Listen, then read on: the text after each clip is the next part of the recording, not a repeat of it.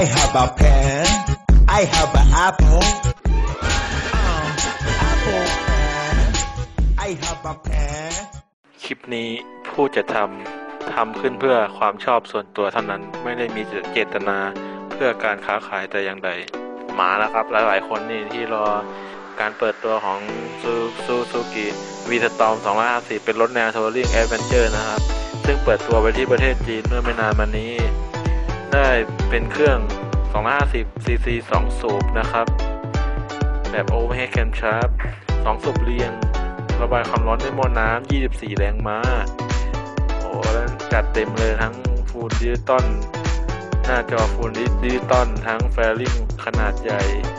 มันคล้ายๆแบบดิจิตอลรุ่นพี่ ระบบเบรกก็ใส่ ABS แต่ว่า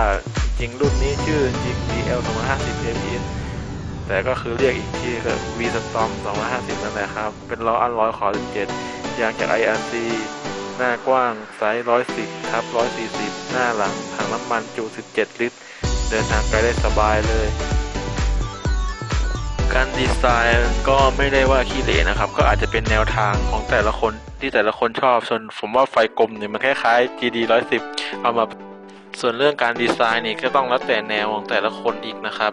สำหรับผมคิดว่าไฟกลมนี่มันเหมือนเอา GD 110อะเอามาใส่แฟริงเพิ่มเติมปรับแปลงใหม่เอ้ยผมล้อเล่นแล้วมันก็สวยไปแนวของมันอะก็แล้วแต่ว่าคนจะชอบคนจะมองเนาะ เขาอาจจะทำเป็นแนวเรโทรทัวริงแอดเวนเจอร์อะไรเออแหมไม่ใช่หรอกเขาก็อยากให้มีไฟกลุ่มบ้างเนาะบางทีก็ไฟเหลี่ยมไฟ แบบเหลี่ยมๆบางทีอาจจะมีเยอะแล้ว ก็ต้องเปลี่ยนแนวดูบ้างผมก็จะรอติดตามดูครับขอบคุณ TMC Box ครับข้อมูลที่มาครับ ยังไงก็ฝากกดติดตามกันได้นะครับ คลิปนี้มาเป็นแนวขอรีวิว เรื่องรถที่จะมาใหม่